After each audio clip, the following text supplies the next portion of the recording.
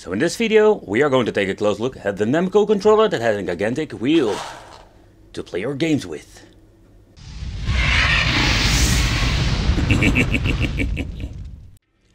Hey hey, welcome back to the channel. It's awesome that you're tuning in. So in this video we are going to take a close look at another weird controller from Namco. So back in the day when we can play some racing games like Ridge Racer Revolution Type 4, we had some weird controllers that we can buy.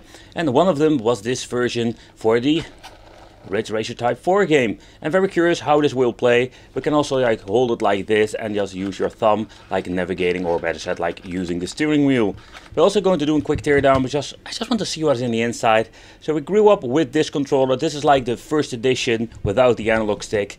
And I understand there are like two versions of this one. This is like the analog edition and because of the analog stick, uh -huh, Captain Obvious moment. But also the came one with rumble function later on. But what we also did here on the channel, we reviewed the previous model. So if you didn't see it, uh, after this video, check it out. Uh, weird control from Namco again. Like I love these weird novelties. But let's take a close look at this bad boy and let's try some games. But before we're going to plug in this bad boy, I just want to do a quick overview of the controller. So first of all, we're going to get the shoulder buttons like with the original controller. This time we're going to get actually like a very nice D-pad. Even for fighting games, it's going to be even way better than this freaking thing with the four separate buttons. It's not really bad, but I prefer like having a normal cross for a D-pad.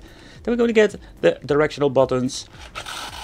We're going to get the racing wheel, of course, select start, mode, and that's it. The first thing I did notice, like what I love about this thing is like it has a completely different grip.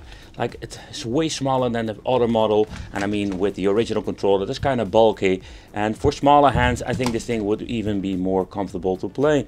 So that's something that we're going to try out because I'm really curious about this thing. And here you can see this thing hmm, is from 1998. Oh yeah. There's some old school stuff. Oh man, what I loved about these devices that we can just plug the games and the controllers in. No drivers, no mumbo jumbo like with Windows back in the day. Alright, so let's plug it in. I love that window by the way. Look at the smile. She is so happy because he's going to spin around in my PlayStation 1. Okay girl, let's go. There is no power.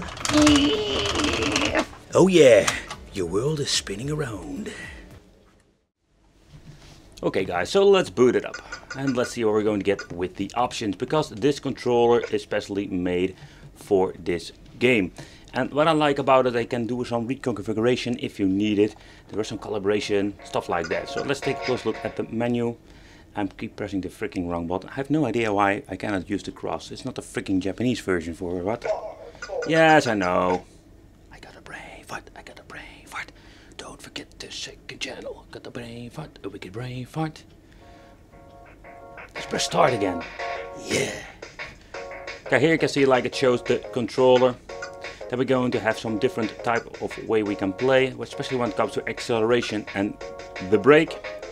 So the first two are basically on the shoulder buttons. Here we can put them both at each side. So there are quite some different options here. But we're going to use, so let's see, the brake on the left and the acceleration at the right. Yep, shifting on the D-pad, so that's basically how we're going to play. Okay, so next up we can also do the calibration over here. here you can see over here that we need to set it up. But there is something not right. Click here, set the center position and press the start button. So I need to put it on the start and center. And here you can navigate if you don't like swap it out.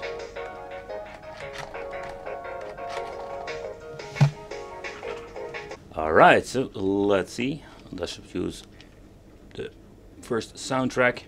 I'm really curious. Okay, so what is quite interesting with it, so basically we're having like a force feedback situation going on here. It's such a weird thing because what you're normally having with in the racing wheel, we're having this now with this tiny wheel on the controller. And I can say like it's such a weird experience that you're having some force that is basically like pushing back with this tiny wheel.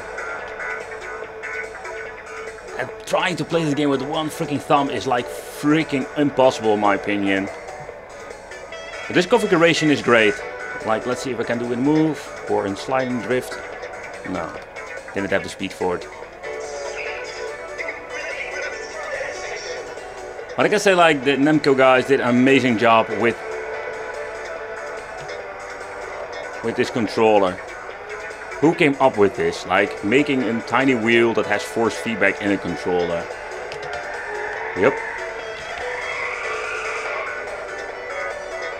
I must say I'm getting the hang of it. First of all, you need to get the hang of the Ridge Racer games in general, but... Alright.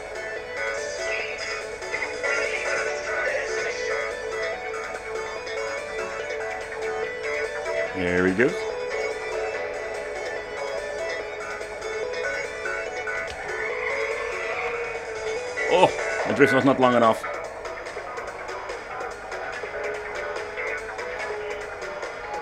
But this is absolutely freaking awesome thing to play. Oh, even nowadays.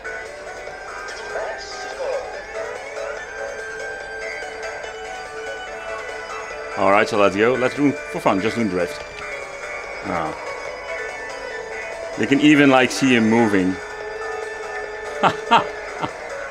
that is really cool, man. That is really cool. Okay, so the next game I wanted to try is Ridge Racer Revolution. It's an older game, and what I understand is like this game has been released back in the day with the other Ridge Racer Type 4. So you can see like it doesn't have any support for it. You can still use the D-pad, so that is not a big of a deal. But such a bummer in my opinion that you cannot use this controller in different games or let's say in older games.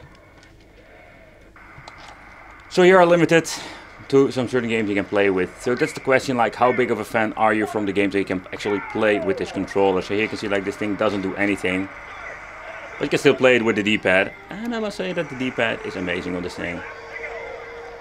So let's play it like that.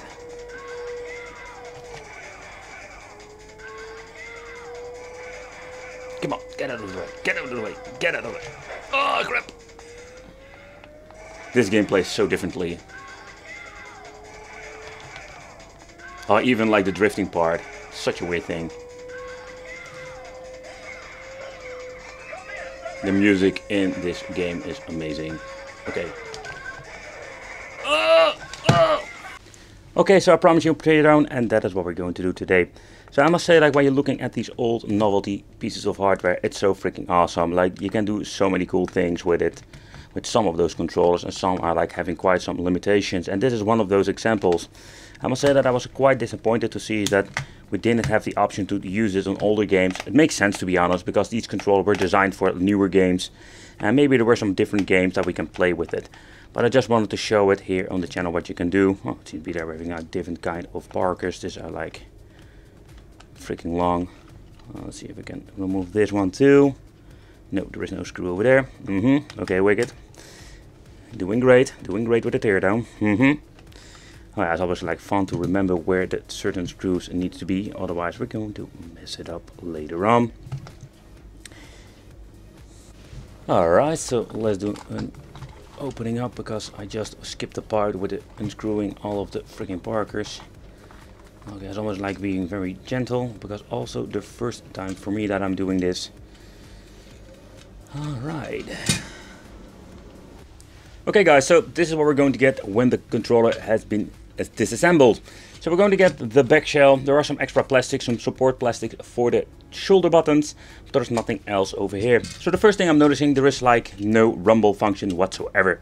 I think it's not a big of a deal, but because we're going to get like a ForceFic mini racing wheel. But how does this thing work? So what I understand of, I'm looking at this, so here you can see that this is the wheel itself. So on the inside, we're going to get the tooth that connects with the force feedback wheel over here. But I'm guessing, knowing for sure, this is the sensor that basically indicates, you can see like which direction you're steering in it. And in the inside, of course, like I already mentioned, like the wheels are connected with the force, feed, mm, force feedback motor over here. And the force feedback motor is going to get the juice from here, plus or minus. And that's it, like that's basically how this thing operates. Sensor, motor itself for the force feedback. There's no rumble function. Yeah, you just your typical shoulder buttons are over here. By other buttons, yeah, are still attached to the other shell over here. So they are not like separate like some of the controllers are. The cable goes in here. Here comes the communication, the chip that basically like translate everything, or I'm guessing how it is. And when you're looking at the inside, it's quite an awesome piece of engineering. I must give the guy from who made it ever made this, with Namco made like an amazing piece of technology inside the controller. And I wish like they do made more of these weird things, like the novel things we had back in the days, like in the 90s, 2000s. We don't have it anymore. And yeah, that is why I really appreciate controllers like these. Okay guys, so this controller is just an amazing piece of engineering if you ask me. But when you're looking at the way how you play it, it's such a fun like little novelty, like this uh, tiny force feedback wheel. How cool is it? Like if you think about it, like I can remember that I have some racing wheels back in the day that didn't even have like rumble or force feedback, but this controller does. As a child I never got it and now I do and it's such a blast playing and show it here on the channel. Let me know what you think of this, what I thank you for watching, consider subscribing, hit that little bell, become one of the Wicked family and I will see you in the next video.